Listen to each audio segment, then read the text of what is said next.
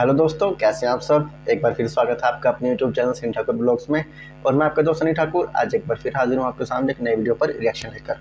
तो दोस्तों, अभी हम जिस वीडियो पर रिएक्शन बनाने वाले हैं, वो वीडियो मैंने ओपी अद्वैत यूट्यूब चैनल से वीडियो लिया है। वीडियो का टाइटल है ओशोवानी सिकंदर के जीवन की रोचक कहानी, पागलों ने परमात्मा को पाया है ओशोवानी। तो इसमें ओशो की किसी जो सत्संग की स्पीच है, उसके बारे में बताया गया है कि जो सिकंदर है, वो जिसे महान राजाओं में गिना जाता है दुनिया के तो वो जब अमृत की खोज में निकला था, अमर होने की खोज में निकला था तो उस बारे में कुछ बता रहे हैं ये। चलिए दोस्तों, वीडियो शुरू करते हैं और वीडियो क्लास में बात करेंगे। और गाइस वीडियो का ओरिजिनल टाइटल लिंक आपको मिल जाएगी डिस्क्रिप्शन में, आप जाकर ओरिजिनल वीडियो भी देख सकते हैं। साथ ही साथ इनके यूट्यूब चैनल ओपी द्वार को ज़रूर चेकआउट कीजिएगा। इसी के साथ ही दोस्तों, मेरे यूट्यूब चैनल सेंटर ब्लॉग्स को भी ज़रूर सब्सक्राइब कीजिएगा। बेल आइकन ज़रूर दबाइएगा वीडियो को लाइक कीजिएगा शेयर कीजिएगा अपने फ्रेंड और फैमिली के साथ और कमेंट करके मुझे बताइएगा आपको वीडियो कैसी लगी। चलिए दोस्तों, वीडियो शुरू करते हैं। स्टार्ट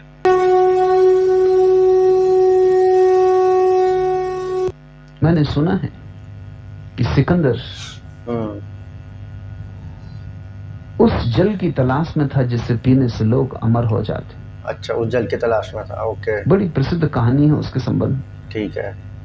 अमृत की तलाश में था। हम्म, कहते हैं कि दुनिया भर को जीतने के उसने जो आयोजन किए वो भी अमृत की तलाश के लिए। अच्छा। और कहानी है कि आखिर उसने वो जगह पाली। अच्छा। वो उस गुफा में प्रवेश कर गया जहाँ अमृत का झरना है। अच्छा सिकंदर पहुँच गया था वहाँ तक। आनंदित हो गया।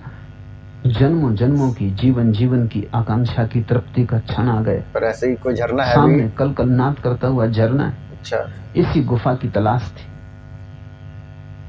झुका ही था हम्म, कि अंजलि में भर ले अमृत को और पी जाए। हम्म, अमर हो जाए। कि कौआ बैठा हुआ था गुफा अच्छा। के भीतर। अच्छा। ओके। वो ज़ोर से बोला ठहर रुक। हम्म, ये भूल मत करना। अच्छा। सिकंदर ने कौए की तरफ़ देखा। बड़ी दुर्गति की अवस्था में था कौआ पहचानना मुश्किल था कि कौआ पंख झड़ गए थे पंजे गिर गए थे आँखें अंधी हो गई थी। अच्छा। ऐसा जीर्ण शीर्ण उसने कौआ ही नहीं देखा था।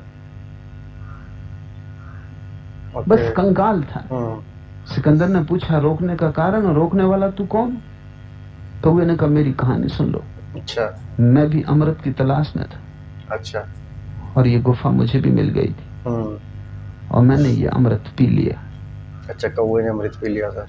और अब मैं मर नहीं सकता। हम्म, और अब मैं मरना चाहता हूँ। देखो मेरी हालत। हाँ वो बुरी हालत में है आँखें अंधी हो गई। देह जरा जीर्ण हो गई। हम्म, पंख झर गए हैं उड़ नहीं सकता पैर गिर गए हैं गल गए हैं लेकिन मर नहीं सकता। जहाँ बैठा वहीं बैठा है। एक दफ़ा मेरी तरफ़ देख लो हम्म, फिर तुम्हारी मर्ज़ी हो तो अमृत पी लो। लेकिन अब मैं चिल्ला रहा हूँ चीख रहा हूँ कि मुझे कोई मार डाले लेकिन मैं मारा नहीं जा सकता। जी भी नहीं सकता। हम्म, क्योंकि जीने के सब उपकरण छीन हुए जा रहे सही हैं बात और है। मर भी नहीं सकता क्योंकि ये अमृत दिक्कत हो गया। हम्म, और अब प्रार्थना एक ही कर रहा हूँ परमात्मा से कि मुझे मार डालो मुझे मार डालो। हम्म, बस एक ही आकांक्षा है कि किसी तरह मर जाऊँ अब मर नहीं सकता रुक जाओ। सोच लो एक दफ़ा फिर तुम्हारी मर्ज़ी। अमर हो गया। अच्छा वो और कहते हैं झरना पीने के सिकंदर बाद- सोचता रहा और चुपचाप गुफा से बाहर वापस लौट आया उसने अमृत पिया नहीं। झरने में जो अमृत बहा था पीने की वजह से बुरी हालत हुई। अगर वो पूरा हो जाए तो भी तुम मुश्किल में पड़ोगे। अगर वो पूरा ना हो तो तुम मुश्किल में पड़ते हो। हम्म, तुम मरना नहीं चाहते। अगर ये हो जाए हम्म, गुफा तुम्हें मिल जाए और तुम अमृत पी लो तो तुम मुश्किल में पड़ोगे। क्योंकि तब तब तुम पाओगे अब जी के क्या करें। सही बात है। और जब जीवन तुम्हारे हाथ में था जब तुम जी सकते थे तब तुम आकांक्षा करते थे कि अमृत मिल जाए हम्म। क्योंकि जब मृत्यु है तो जिए कैसे? न मृत्यु के साथ जी सकते हो हम्म, न अमृत के साथ जी सकते हो न गरीबी में जी सकते हो न अमीरी में जी सकते हो न नरक में न स्वर्ग में और फिर भी तुम अपने को बुद्धिमान समझते हो। सूफी फकीर हुआ बाजीत वो अपनी प्रार्थना में परमात्मा से कहता था मेरी प्रार्थनाओं का ख्याल मत करना। अच्छा।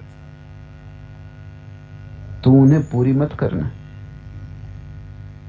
क्योंकि मेरे पास इतनी बुद्धिमत्ता कहाँ? कि मैं वही मांग लू जो शुभ है। हम्म, आदमी बिल्कुल बुद्धिहीन है। वो जो भी माँगता है अच्छा। उसी के जाल में भटकता है। अगर पूरा हो जाता है तो मुश्किल खड़ी हो जाती। पूरा नहीं होता तो मुश्किल खड़ी होती। तुम सोच के देखो। अतीत में लौटो। हम्म, अपनी ज़िंदगी को एक दफ़ा लेखा जोखा करो। तुमने जो मांगा उसमें से कुछ पूरा हुआ है। उससे तुम्हें सुख मिला। तुमने जो मांगा उसमें से कुछ पूरा नहीं हुआ है। उससे तुम्हें सुख मिला। तुम दोनों हालत में दुख पा रहे हो। जो मांगा है उससे उलझ गए। जो मिला है उससे उलझ गए। जो नहीं मिला है उससे उलझे हुए ये तो है। बुद्धिमानी क्या है? बुद्धिमत्ता का लक्षण क्या है? बुद्धिमत्ता का लक्षण है उस सूत्र को मांग लेना जिसे मांग लेने से फिर दुख नहीं होता। हम्म, इसलिए धार्मिक व्यक्ति के अतिरिक्त कोई बुद्धिमान नहीं है क्योंकि सिर्फ़ परमात्मा को मांगने वाला ही पछताता नहीं बाकी तुम जो भी मांगोगे पछताओगे। अच्छा। इसे तुम गांठ बाँध के रख लो। तुम जो भी मांगोगे पछताओगे। सिर्फ़ परमात्मा को मांगने वाला कभी नहीं पछताता। उससे कम में काम भी नहीं चलेगा। अच्छा। वही जीवन का गंतव्य है। जब परमात्मा से कुछ मांगना तो परमात्मा को ही मांगो परमात्मा को शास्त्रों में पा सकोगे? नानक कहते हैं वहाँ तुम उसे न पा सकोगे। वहाँ तुम्हें शब्द मिल जाएँगे हाँ। सिद्धांत मिल जाएँगे हाँ। सत्य नहीं मिलेगा। अच्छा। सत्य कहाँ मिलेगा? सत्य नानक कहते हैं वह सबसे महान है और वह अपने को आप ही जानता है। हम्म, तुम उसे दूर दूर रह के ना जान सकोगे। तुम जब उसमें डूब जाओगे तभी उसे जान सकोगे। सत्य का वही एक मार्ग है। परमात्मा के साथ एक हुए बिना कोई सत्य को नहीं जान सकता। अच्छा। हम पदार्थ के संबंध में जानकारी ले सकते हैं। हम्म, विज्ञान इसी तरह की जानकारी। दूर खड़े होकर बाहर खड़े होकर वैज्ञानिक परीक्षण करता है पदार्थ के संबंध में ज्ञान हो जाता हम्म, है। लेकिन परमात्मा के संबंध में कोई ज्ञान बाहर से नहीं हो सकता। वो इंटरनली होगा। तो भीतर ही जाना होगा। वहाँ तो इतने भीतर जाना होगा जहाँ की तुम्हारी और उसकी सीमा खो जाती। हम्म, तुम उसके हृदय की धड़कन बन जाते हो वो तुम्हारे हृदय की धड़कन बन जाता है। जहाँ इतनी एकता सद जाती है वही ज्ञान है। शास्त्रों से ये कैसे होगा? अच्छा। शब्दों से ये कैसे होगा? ये तो प्रेम से ही हो सकता है। इसलिए नानक कहते हैं बस प्रेम कुंजी है। और अगर उसके नाम का प्रेम जग जाए हम्म, अगर उसकी धुन तुम्हारे भीतर बजने लगे और तुम उसके प्रेम में पागल हो जाओ तो तुम जान सकोगे। अच्छा। शास्त्र से तुम बुद्धिमानी मत समझना कि तुम बुद्धिमानी कर रहे हो। वो ना समझिए। वहाँ तुम्हें बहुत से तर्क और सिद्धांत मिल जाएँगे। हम्म, लेकिन असली चीज़ चूक जाएगी। तुम न तो अपने को जान सकोगे और न परमात्मा को क्योंकि दोनों को जानने का एक ही मार्ग है। अगर तुम स्वयं को जानना चाहते हो तो परमात्मा के साथ एक हो जाओ। क्योंकि उसके साथ एक होने पर ही वो प्रज्ञा उपलब्ध होती है हम्म। जिसको जानकारी हो सके हम्म, जानना हो सके। अगर तुम परमात्मा को जानना चाहते हो तो भी उसके साथ एक हो जाओ। क्योंकि जब तुम उसके साथ एक हो जाओगे तभी उसे पहचान सकोगे। स्वाद लिए बिना कोई रास्ता नहीं। अन्यथा तुम्हारे सब तर्क बचकाने रहेंगे और मूर्तापूर्ण रहेंगे। ऐसा हुआ कि मुल्ला नसुद्दीन अस्सी साल का हो गया। ठीक है। और तब अचानक एक दिन उसने अपने बेटे को बुला के कहा बड़े बेटे को जिसकी उम्र कोई साठ साल होगी? अच्छा। कि मैंने फिर से विवाह का तय कर लिया है। अस्सी साल की उम्र में शादी? तेरी माँ को मरे। काफ़ी महीने हो गए। अच्छा। और अब मैं बिना स्त्री के नहीं रह सकता हूँ। बेटा थोड़ा चिंतित हुआ क्योंकि अस्सी साल में अब शादी।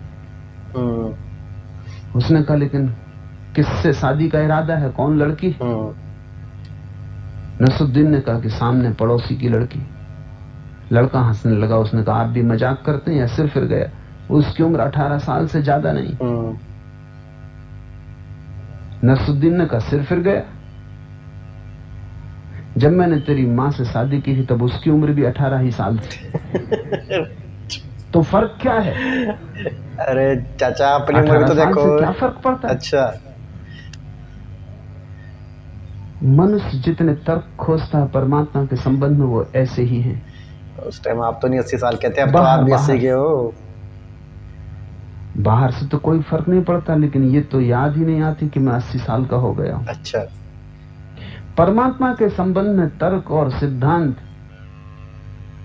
तुम बाहर से पकड़ने की कोशिश करते हो तुम अपना स्मरण ही नहीं करते कि तुम्हें भीतर प्रवेश होना है। हम्म, और तुम्हें सिद्धांत का हिस्सा बनना है। पंडित बाहर रहता है। हम्म, ज्ञान उसके लिए सामग्री है जिसको जमाता है लेकिन खुद बाहर रहता है। ज्ञानी भीतर चला जाता है। पंडित ज़्यादा चालाक है ज़्यादा होशियार है भीतर में नहीं पड़ता। बाहर बाहर से हिसाब रखता है। लेकिन ये होशियारी मूर्ता सिद्ध होती क्योंकि भीतर गए बिना कोई रास्ता नहीं। ये ऐसे ही जैसे कोई प्रेम के संबंध में किताबें पढ़ ले और सोचे कि मैंने प्रेम को जान लिया। हम्म,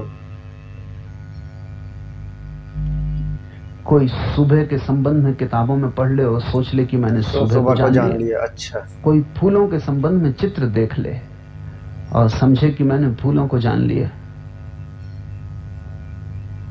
जानकारी हो जाएगी। हम्म, लेकिन फूलों का साक्षात सुबह उगते सूरज का साक्षात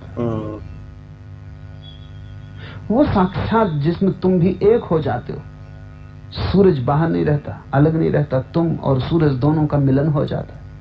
जहाँ तुम दोनों थोड़ी देर के लिए साथ साथ धड़कते हो फूल का साक्षात जहाँ उसकी सुगंध और तुम्हारा जीवन अस्तित्व ओतप्रोत हो जाता है सॉरी एक दूसरे में लीन हो जाता है एक दूसरे को छूता है हम्म, आनंदित होता है। एक दूसरे के साथ हवा में थिरकता है और नृत्य करता है। वो क्षण तो किताब से नहीं मिल सकता। और जब साधारण फूलों के साथ एक होने का क्षण किताब से नहीं मिल सकता तो परम फूल जीवन का जो परमात्मा है उसके साथ तो कैसे कैसे शब्द सिद्धांत का नाता जोड़ा जा सकता है? अच्छा। उससे तो नाता जोड़ना हो तो तुम्हें भीतर प्रवेश करना पड़े। इसलिए पागल ही प्रवेश करते हैं बुद्धिमान वंचित रह जाते हैं। अच्छा। क्योंकि बुद्धिमानी तुम्हारी चालाकी तुम्हारी वस्तुतः बुद्धिमानी नहीं है। इसलिए बहुत बार ऐसा हुआ है बहुत बार। कहना ठीक नहीं सदा ही ऐसा हुआ है कि पागलों ने उसे पा लिया। हम्म, समझदार पीछे रह गए। भगवान को। नानक कहते हैं बस एक ही उपाय है और वो है ये जानना। हम्म, नानक बड़ा आखिए आपे जाने आप। हम्म, वो महान है। और वो स्वयं ही अपने को जान सकता है। तुम उसे बाहर से ना जान सकोगे जब तक कि तुम उसकी स्वयं सत्ता में लीन ना हो जाओ। तुम भी उसके साथ एक हो जाओ। परमात्मा को जानना हो तो परमात्मा हुए बिना और कोई उपाय नहीं। परमात्मा को जाना तो परमात्मा हुए बिना तो उसी गहराई परमात्मा को जानना हो तो परमात्मा ही होना पड़ेगा। पहुँच जाओ तो ही उसे जान सकोगे। उसके साथ एक हो जाना पड़ेगा।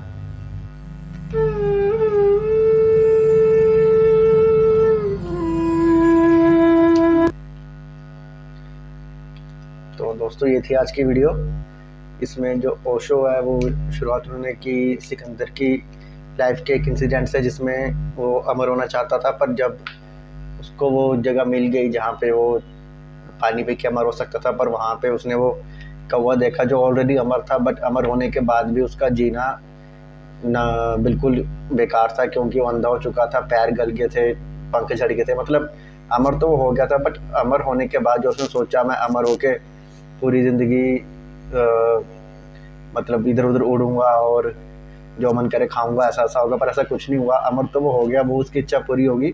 बट उसके अलावा वो लाइफ में और कुछ नहीं कर पाया। वो मरने की दुआ कर रहा है कि मुझे मार दिया जाए या मैं मर जाऊँ। तो यही इसी से उसने बात शुरू की थी। दूसरा ये कि वो कह रहे थे कि जो शास्त्र है, हमारे शास्त्र हैं या फिर और ग्रंथ हैं उनको पढ़ के आप परमात्मा को नहीं पा सकते, वो तो एक शब्द है मतलब वो आपको सीख दे देंगे, आपको बुद्धि दे देंगे बट परमात्मा को पाने के लिए आपको भीतर उतरना पड़ेगा अपने अंदर। तो ये चीज़ जो है, जो ये ओशो बात बता रहे हैं, ये कई जो हैं आध्यात्मिक गुरु यही, वो भी यही बताते हैं कि बाहर ईश्वर को ढूंढना तो बाहर भटकने से अच्छा है कि अपने अंदर ढूंढो, भीतर ढूंढो, भीतर ध्यान लगाओ, ईश्वर खुद ब खुद मिल जाएँगे। तो ये चीज़ भी ओशो भी ये चीज़ ही बता रहे थे।